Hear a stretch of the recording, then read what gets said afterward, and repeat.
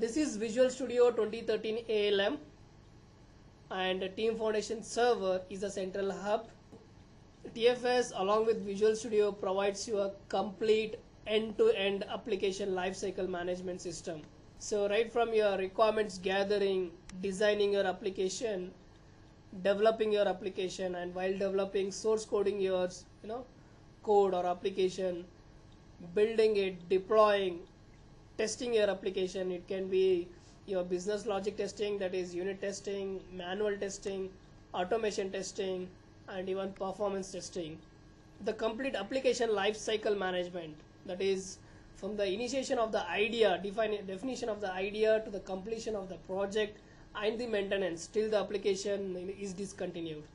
So the complete thing can be done using visual studio alm and the team foundation server provides these core features that is the requirements management where you can collect uh, log requirements and manage and track down the requirements. And many other project management features where you can break down your requirements into tasks you can manage your iterations or sprints you can manage allocation of work and you can track the progress of the work using project management management features of team foundation server. And tfs also provides version controlling. You can source code your application. And then and there are many more features provided under version control like branching merging branch visualization and shelving your you know half done code into team foundation server without checking in. And many check-in policies or rules which will enforce the developers or the team members to follow those rules before checking in like writing comments or doing unit testing. And all these things is governed by process okay? So tfs provides by default agile that is microsoft solution framework based msf based agile scrum and CMMI so these process templates consist of the different work item types for different purpose or different activities we do in software development. That is task work item for all the tasks we do like writing code or you know changing some settings or doing anything in the development. Then there's a bug work item for logging issues or i mean uh, defects or bugs. There is a requirement work item or you can call it as product backlog item or user story based on the process template you are using to log requirements. So like that there are different work item types available for different activities we do in software development. Apart from that they are checking policies they are reporting yes. So whatever you do in tfs whether you create a work item you check in your code or you do a build or you create a test case or execute a test case everything is saved in team foundation server backend it is sql server. So everything is saved in a centralized hub. And tfs provides by default reporting system where you can see the traceability from requirements to tasks to your code or to your bug or to your test cases. And you can you know see the progress of the iteration or a sprint or bug status. So so many reports are available out of the box so with this you can achieve end-to-end traceability. And also tfs provides lab management facility where you can test your application on different environments using virtualization technologies provided by Microsoft that is hypervisor. Not only this you can even go and customize the processes that is the methodologies given by team foundation server and customized according to your needs or streamline the process for your organization. Okay? So this is team foundation server the centralized hub. Coming to the client part we need to use team explorer which is a client component for team foundation server. And team explorer is inbuilt in visual studio all the editions of visual studio. And even i can install it as standalone okay? So apart from that i can access tfs through ms office that is excel or microsoft project professional or ms project. Okay?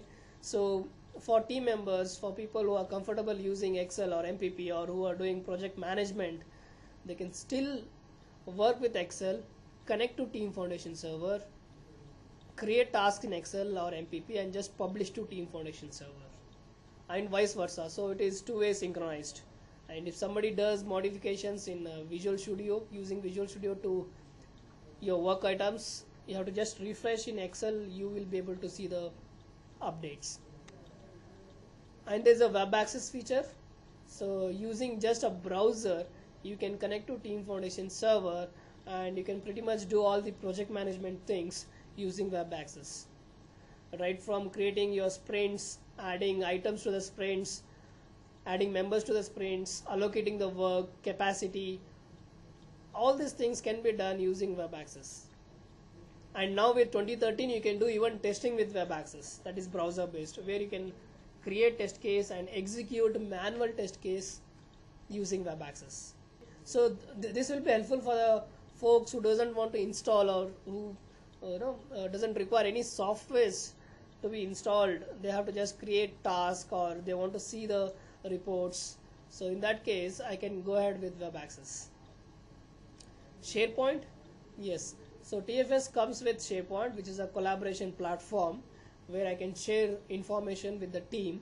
Like it can be documents it can be announcements or events any other information. Okay.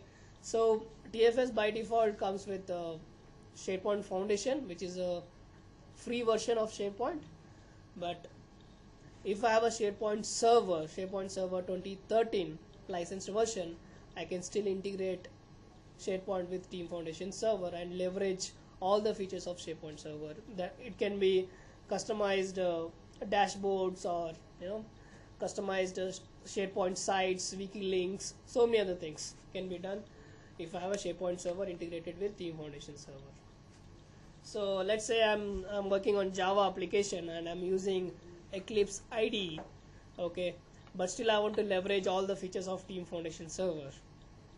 Okay, yes, I can still do that. So using Team Explorer everywhere, so I have to install this on top of my Eclipse IDE. Then I can connect to TFS within my Eclipse IDE and check in my source code or create task or requirements or access the task or requirements and work on the code check in version control. Even i can do build. Okay? So it is possible for non microsoft development also using team explorer everywhere. Not only java many other technologies. And it can be installed on non microsoft os also okay. So coming to visual studio yes visual studio comes with uh, different flavors or editions. With 2013 we have visual studio professional. 2013 visual studio premium ultimate and uh, visual studio test professional. Visual studio professional is a very basic edition for developers. They, where they can just uh, create application and uh, build. Whereas premium comes with all the quality enabled uh, tools or features okay where you can write uh, unit test cases with code coverage. You can enable code metrics for your application see the maintainability of the code or you can enable profiling to your application. And you can even you can do UI testing that is automation testing using premium edition of Visual Studio. Ultimate so as the name suggests it's ultimate edition which has all the features of professional premium and it has uh, some more features where you can do architecture modeling uml modeling. There's an advanced debugging tool called as IntelliTrace in ultimate edition which will be very helpful for the developers. And you can do performance testing using uh, visual studio ultimate. Then there's a test professional which is an, another component. This is only for manual testers. So if i'm a manual tester i don't want to use uh, ultimate or a premium. I don't want to use visual studio IDE so there is a separate IDE for manual testers that is called as microsoft test manager.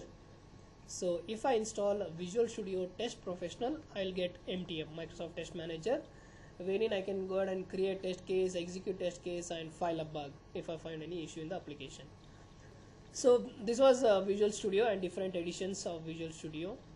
Coming to the integration part project server which is another product from microsoft which is uh, mainly for project management and enabled i mean uh, for portfolio management okay enterprise level uh, project management where you can even do budgeting or resource allocation and so many things across projects okay. So if i integrate team foundation server with project server i can leverage all the features provided by even project server and tfs system center which is another product from microsoft. System center group it is and under system center i have a system center operation manager okay scom which is used to monitor your applications or servers okay. So uh, let's say I, i'm monitoring an application and if i come across any issue in the application as a member of a production team i want to communicate this issue with my development team. So earlier we used to send a mail take a snapshot or collect some logs and send a mail and track. But with tfs and system center integration from system center directly i can create a bug which will be created in team foundation server and i can assign it to the developer. And later i can track like in tfs we have bug work item with a different uh, state flow. So whenever i create a new bug it will be in active state and i can try i can track whether it is resolved or closed. What is the progress of the bug and I don't have to you know spend time and you know effort in collecting all the information. The tool itself will collect all the information and it will be passed on as attachments to the bug work item. So that is the advantage of using uh, System Center with Team Foundation Server. Windows Azure, yeah. So I can deploy my Team Foundation Server on Azure platform. Microsoft has TFS on cloud and people can connect to TFS on cloud and access most of the features provided by TFS. Wherein I don't have to set up TFS locally on premises. The TFS will be managed and maintained by Microsoft or any other company. I have to just you know uh, access it and use it and pay for it. Okay. So as I said, TFS uh, comes with a SQL Server as a backend data storage system so whatever we do in TFS, whether you create a work item or you check in your code or you create a bug or file a bug or create a test case, everything is saved in SQL Server. So yes, TFS and Visual Studio provides hundreds and thousands of features by default, but still, if we want to go ahead and if something is missing and we want to achieve it, so Microsoft has provided APIs, exposed APIs where we can use those APIs and build applications which will connect to Team Foundation server and add many more features. So we can write plugins or APIs to which will connect to TFS and uh, we can customize it. So this is Visual Studio application lifecycle management product